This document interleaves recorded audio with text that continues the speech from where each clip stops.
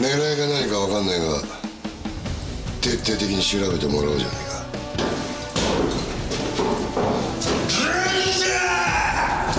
ただ単に連城とケリをつけたかっただけだったんだよ。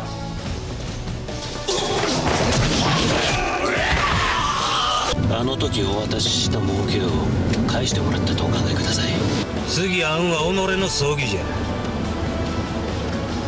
みにしとけ破門だ絶縁だって話にはしねえから。黙って消えてくれ。解散するか。